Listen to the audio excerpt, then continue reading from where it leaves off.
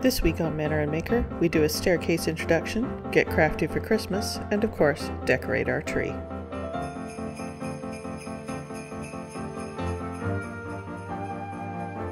I decided to come into Paris. I had to, well, I drove uh, Dee and Ryan to the airport, and I am picking up my parents on Wednesday. So I decided to just hang out um, and wait for them there. Take spend a couple of nights near the airport. Um, but I figured, hey, it's only a half hour ride on the train from uh, from where my hotel is, so I decided to come on into Paris. I love Paris. You know, it just it just washes over you. It's uh, it's like a warm blanket. And I decided to come down to the uh, the, the, market, the Christmas market uh, in the Tuileries in, in Paris. So that's what I've done. And here's a few shots of it.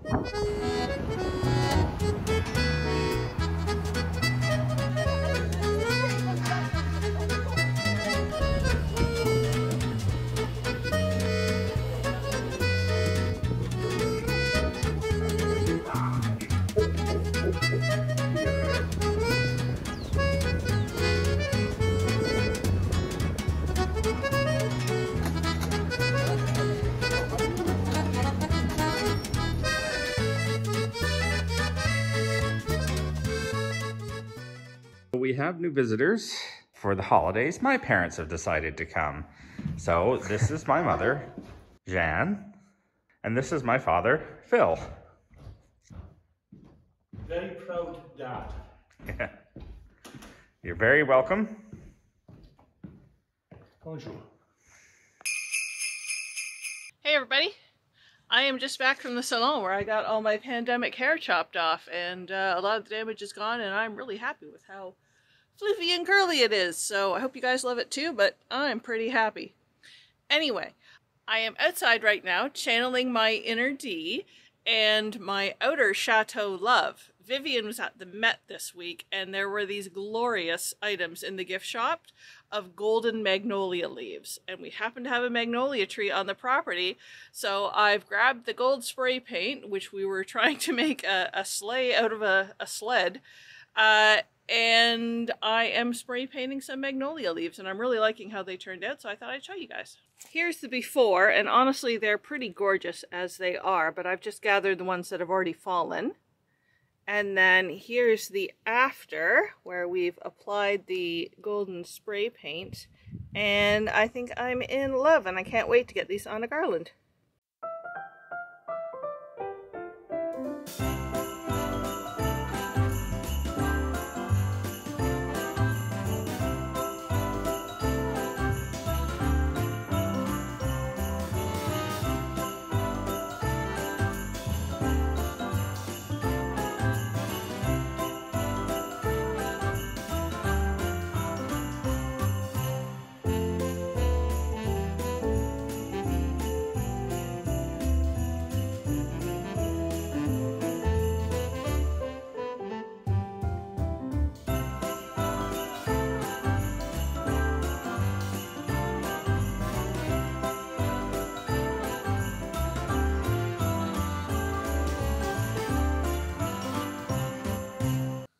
To make some swags to hang from the lights on either side of the doorway.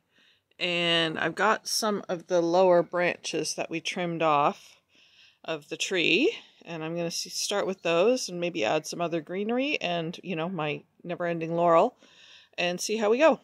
It's looking pretty floofy right now. We've got three different kinds of evergreens going, finishing with the cedar because that reminds me of home. There was lots of cedars in the township line where I grew up. I will add on some laurel leaves and see where we go from there. It's looking so floofy. Uh, I've added in, of course, some mistletoe and a little bit of red raspberry leaves that we found. So we're pretty good for texture. I do think we're a little light on color, so I think it's time for some golden magnolia leaves.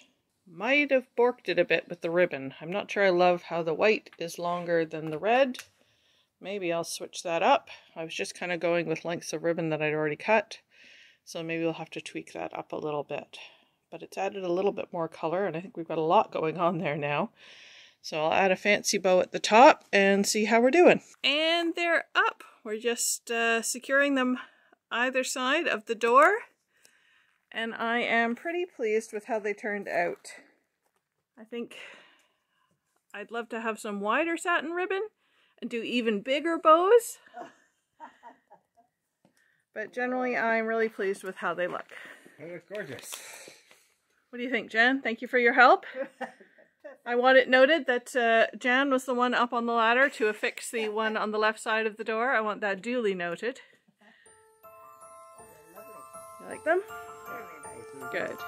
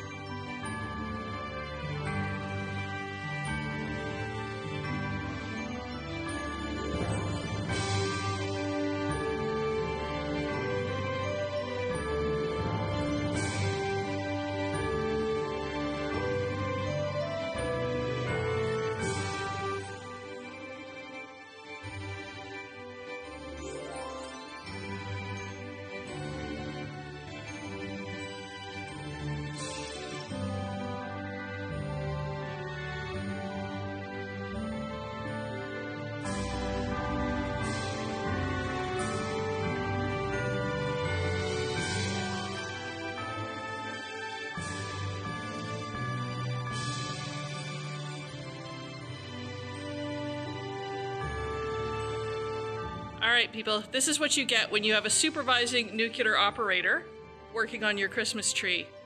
You get improvised tools. Let me see if I can get that focused a little bit for you. Come on, tools. There we go. Improvised tools for hanging Christmas ornaments.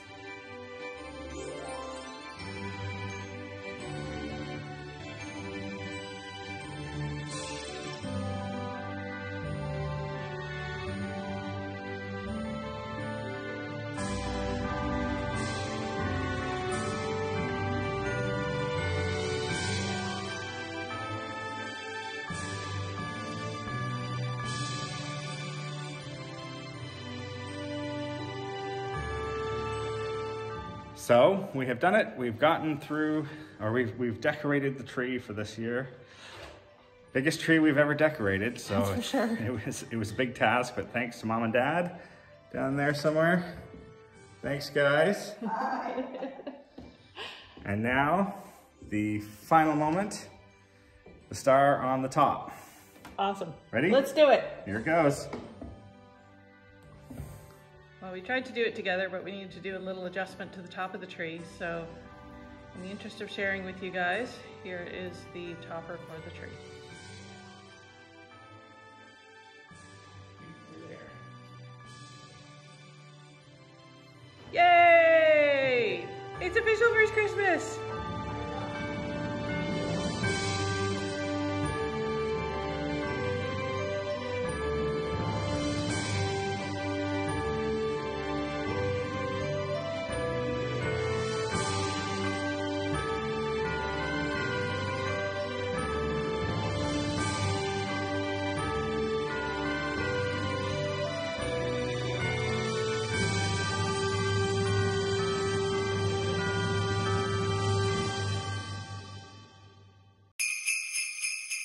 We are off foraging again. Just a little bit short on evergreens, and we're hoping to find a few little red berries or something to go along the mezzanine with the other boughs that we've put together to form a really lovely garland. And I've got a helper. Jen's going to come along and we're going to see if we can find something festive. I've got a few man-made walls that are just covered with ivy.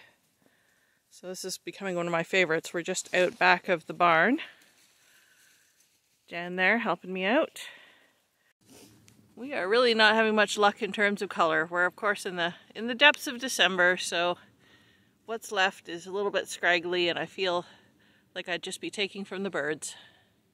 This is to look beautiful. Yeah, this is our little, what we gathered so far. We've got a mix of evergreens. We found a few little red raspberry leaves. But we've just got the usual mix of a little bit of evergreen, some laurel leaves, and uh, what, we're thinking of doing little crafty bows later? Yes, we will. Yeah, add a little bit more color. Good to go. And the reason we're starting from twine, I'm just going to throw this out there, is that that's what I had on hand. And well, boy, buying garland from scratch is really expensive here. It's basically 20 euros a meter. We just can't seem to find anything. All right, maybe I'm exaggerating a little bit, but seemed really excessive for what you're you're paying for. I guess in the area we are, with what's available, it just wasn't what I wanted. So, doing it the long hard eh? way. We are. Let's see how it works out. Yeah, exactly.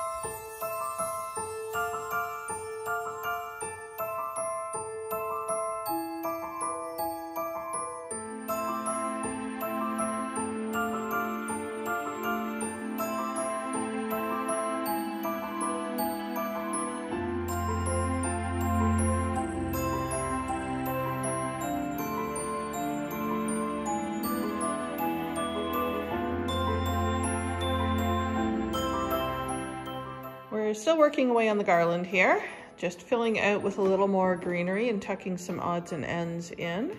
And then we are going to add some of the mistletoe berries.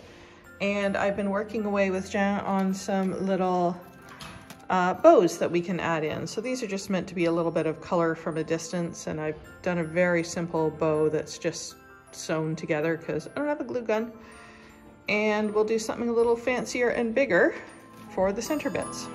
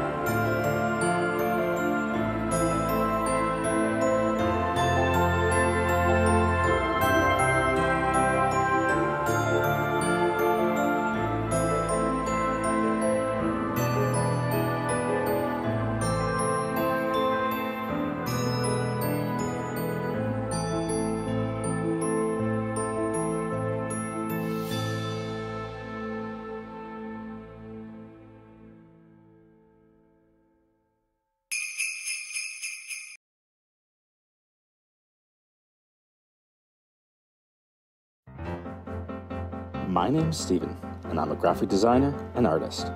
My wife Sara is a former IT professional who loves to sew. We've lived our lives in Canada, yet traveled the world seeking different cultures and experiences. Our travels often led us back to Europe, and France in particular. We dreamed of moving to France for many years and living our life surrounded by art, culture, and history. One day, in 2020, we were working from home when I turned to Sara and popped the question she was longing to hear What would have to be true for us to buy a chateau in France? We searched online for months to see what was available and dream of the possibilities. We started to let ourselves believe that it might actually be achievable.